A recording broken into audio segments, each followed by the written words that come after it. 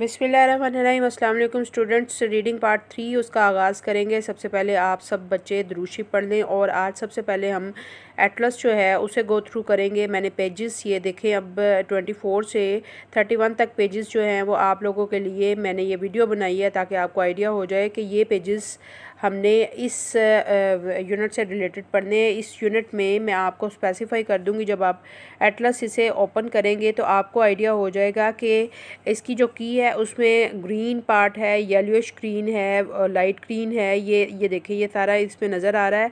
यहाँ से ये पता चल जाता है कि पाकिस्तान का वीट एरिया जो है वो किन किन सिटीज़ में जो है वो सपोर्टिव है। कहाँ कहाँ सपोर्टिव है वहाँ की सोइल जो है और वहाँ फर्टिलाइजेशन जो है ज़्यादा उसमें डालते हैं तो वो यानी इनपुट देते हैं तो आउटपुट ज़्यादा आती है।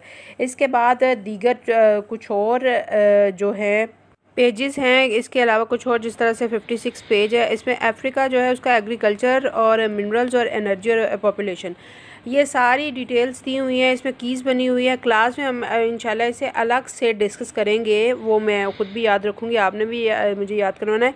ये सारे देखें, इसमें एरियाज़ दिए हुए हैं कि यानी ये मैपिंग इन्होंने की हुई है, उसके नीचे एग्रीकल्चर कितना है, इसके अलावा मिनरल्स वगैरह कितने हैं, ये सारी डिटेल्स जो दिए हैं, आपने जस्ट इसे गो थ्रू करना है। अगर कोई प्रॉब्लम होती है, वैसे ये बहुत ईजी है ईजी टू अंडरस्टैंड अगर कोई प्रॉब्लम होती है तो इन हम इसे क्लास में देखेंगे। अगला पेज 65 है, एशिया के मिनरल्स, उसका एग्रीकल्चर, एनर्जी और पॉपुलेशन को बिल्कुल उसी पैटर्न पे दिया गया, जो पहले अफ्रीका में दिया गया। आपने गो थ्रू कर लेना है, इसके डोर्स साथ इसमें कुछ सिटीज़ और कंट्रीज़ के दिए गए हैं पॉपुलेशन के मैपिंग में। बाद में ये है कि डिस्कस करना हुआ, अगर कोई समझ नहीं आती तो हम क्लास में इंशाल्लाह कर लेंगे। आप इन सारे पेजेस को डिटेल में देखेंगे। और इसके बाद इंशाल्लाह हम रीडिंग स्टार्ट करते हैं, कोकवा को पढ़ेंगे, सबसे पहले इसमें ये देखिए ऑल्सो नोन एज काकाओ यानी ये कोकोआ के ऊपर ये बीन्स है जिसके साथ पाउडर है ये कोकोआ है एक्चुअली नीचे इसका पॉट दिया गया है जिसके अंदर से बीन्स जो हैं वो लिए जाते हैं और बाद में इसकी जो भी प्रोसेस करते हैं इसके रॉ मटेरियल को प्रोसेस करके पाउडर जो है वो बनाया जाता है।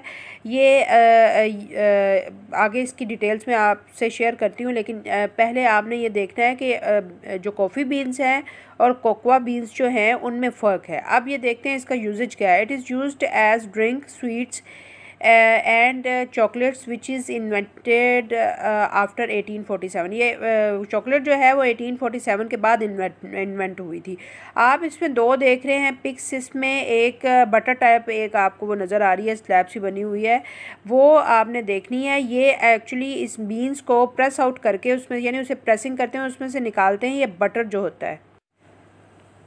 हाँ जी, आगे ये देखते हैं मुस्लिम कंट्रीज़ का शेयर कितना है। टोटल वर्ल्ड्स आउटपुट जो है प्रोडक्शन की है, वो है एटीन परसेंट और प्रोड्यूसिंग कंट्रीज़ हमारी हैं इंडोनेशिया और मलेशिया नीचे कुछ डिटेल्स हैं वो हम शेयर कर लेते हैं। First found in Mexico when Columbus discovered America जब कोलंबस गया था न्यू वर्ल्ड जो उसने डिस्कवर की थी अमेरिका यूएसए तो तब उसने देखा कि मैक्सिको में ये जो है, इसे यूज़ किया जाता है। Now almost all cocoa is grown in West Africa and South East Asia पहले तो ये मैक्सिको में हुआ फाउंड हुआ, लेकिन अब ये साउथ ईस्ट एशिया और वेस्ट अफ्रीका में जो है, वो प्लांट किया गया और अब वहाँ ग्रो होता है। It was known as a drink of the noble nobles ये मैक्सिको में जब उसने देखा कोलम्बस ने तो वहाँ के अमीर लोग जो थे, वो इसे यूज़ किया करते थे। It became popular in Europe in seventeen century और फिर बाद में सेवनटीन सेंचुरी में प्रोसेस करके, कुछ प्लांटेशन करके यहाँ यूरोप में लाया गया और वहाँ फिर बाद में ये यूजेज इसका स्टार्ट हुआ। हाँ जी नेक्स्ट जो है क्रॉप है, वो वीट है। वीट आपको यानी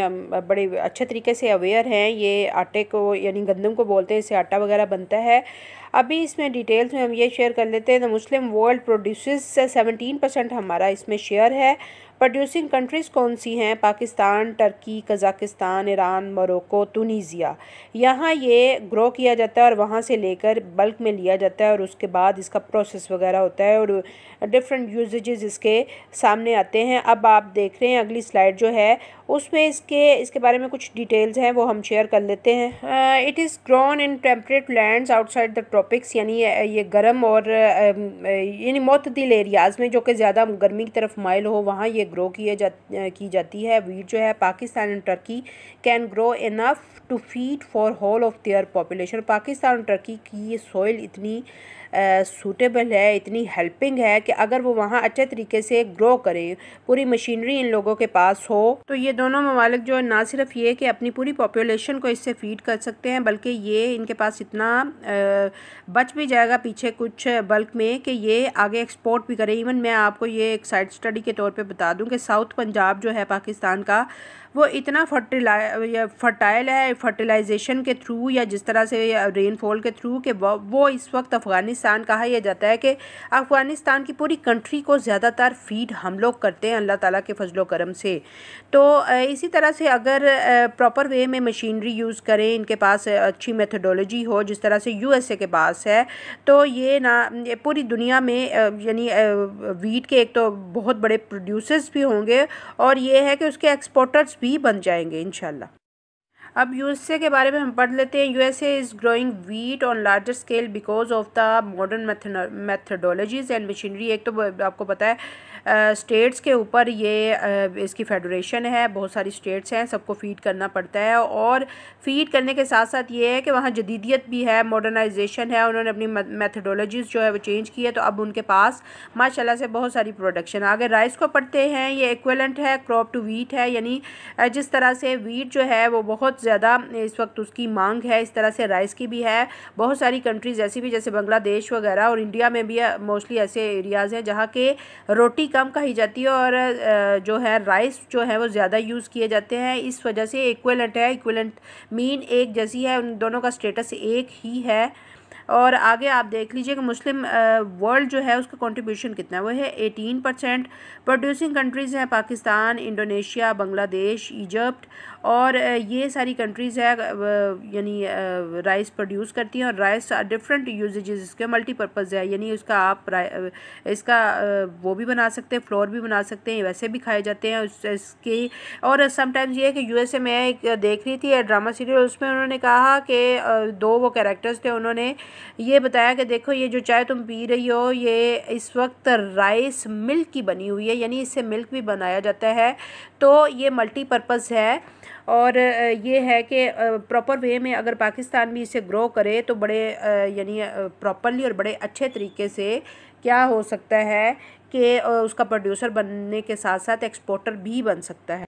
तो बच्चों, आज की हमारी ये जो रीडिंग है वो कंप्लीट हुई। अब ये है कि कल जितने भी मैं सेशन तो नहीं कहा जा सकता, मैं ऑनलाइन जो भी आपको सेंड करूँगी, उसमें सारी डिटेल्स होंगी एक्सप्लेनेशन होगी सोल्यूशन होगी आपके वर्कशीट की। आपने प्रॉपर वे में स्केजुअल को फॉलो करना है। अब ये है कि थ्री डेज़ जैसे जैसे मैं आपको भेजती हूँ, बाकी टीचर्स भी सब्जेक्ट वाइज आपको भेज रही होंगे, वो सब्जेक्ट साथ साथ डे बाई डे कर लिया करें। आपको कोई प्रॉब्लम ही नहीं होगी लिखने का काम आपने वैसे ही करना। All the all the very best अब ये है कि आप प्रॉपरली करें और घर में बैठ के अल्लाह ताला से भी दुआ करें कि क्राइसिस जो है वो जल्द अज जल्द पूरी दुनिया से ख़त्म हो और हम दोबारा अपनी रूटीन लाइफ की तरफ़ वापस आएँ। ओके जी, अल्लाह हाफिज़ टेक केयर